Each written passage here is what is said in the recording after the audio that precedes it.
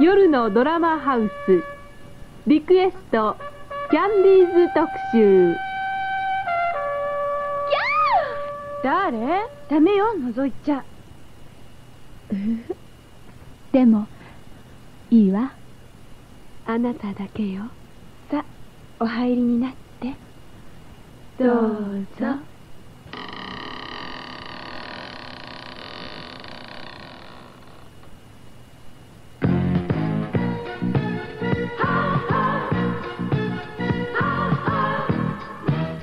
世界中どこでもネスカフェ。ネスカフェでおなじみのネッスル日本がお送りする夜のドラマハウス。その気にさせないで。その気にさせないで。今週のテーマは「その気にさせないで」だ瞳柔らかい髪。その気にさせないで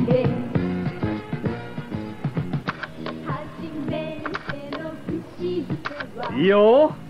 いいよ。そう。もっとゆっくり。そう。両手を大きく広げて。そう。いいよ。なんて神秘的だ。あの瞳あの唇。まるで花びらのようだ。うーん。どのアングルから見ても完璧だ。こんな上等なモデルめったに癒やしないぜ。彼女の名前はラン。ここ1年ほどでめきめき売り出してきた。父親がイギリス人とかで抜群のフェイスとプロポーションはそのせいかもしれない。ああここは六本木のスタジオでねファッション雑誌のグラビアを撮影中なんですよ。俺はカメラマンの神谷明。若手じゃまあ売れてる方かな。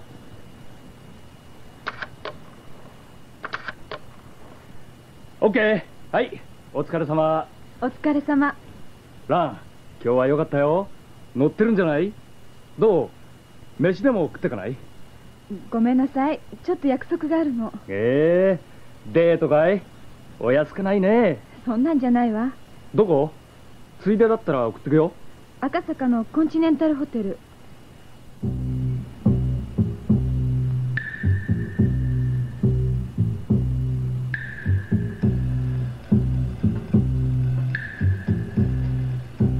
ランのやつあでやかな笑顔を残して降りていっちまいやがった、はあ、それにこの甘い香りまだ残ってるよ。ランと俺お互い惹かれ合ってるのはわかるんだ。でも俺が近づこうとするとあいつ悲しそうな目をして避けやがる。その気にさせないでだって。どういうんだろう。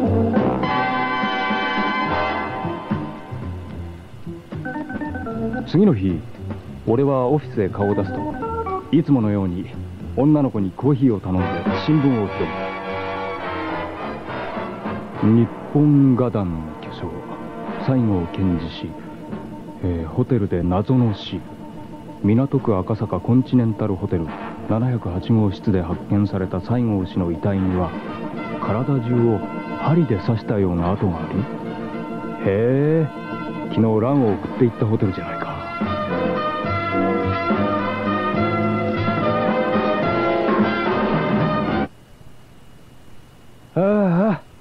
突然雨なんか来やがって。これじゃあ撮影上がったりだよ。天気予報はどうなってんだ？テレビの料理番組などでおなじみの山村栄養学校校長山村無才さんの死体が今朝自宅の寝室で発見されました。先日亡くなった画家の西郷賢治氏と死因が全く同じであると。そういえばランのやつ昨日あのなんとかっていう料理番組のゲストに出てったな。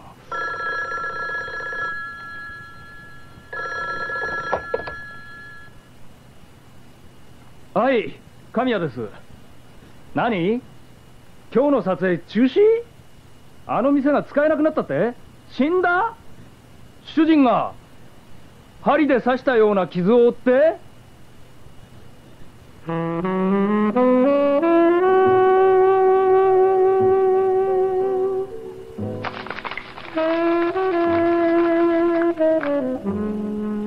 なあラン。いつか撮影の後赤坂のコンチネンタルホテルへ送っていったことがあったな。ええ。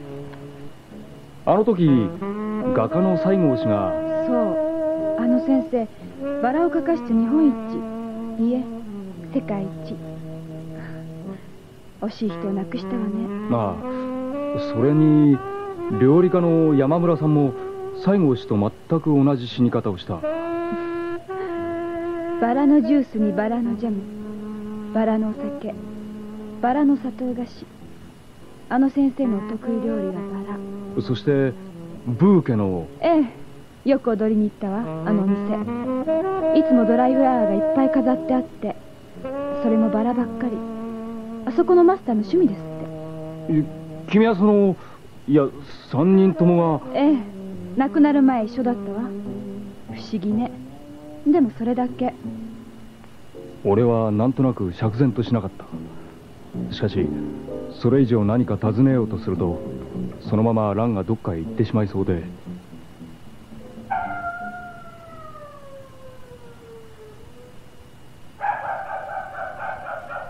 はあ夜風が気持ちいいや。並んで歩くランの体からいつものように甘い香りがした。ランあダメよ。ダメ。いけない。やめて。お願い。やめて。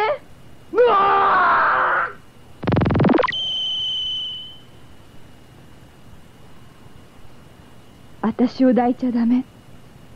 抱いた男はこの体中のトゲが刺さってみんな死ぬのよ。でもそれは私たちバラをやたらに倒った人だけへの復讐だったの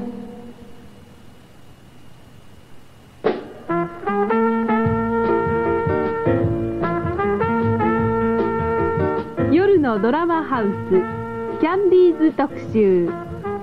出演キャンディーズ神谷明。脚本田中信でした。世界中どこでもネスカフェ。ネスカフェでおなじみのネッスル日本がお送りした夜のドラマハウスを終わります。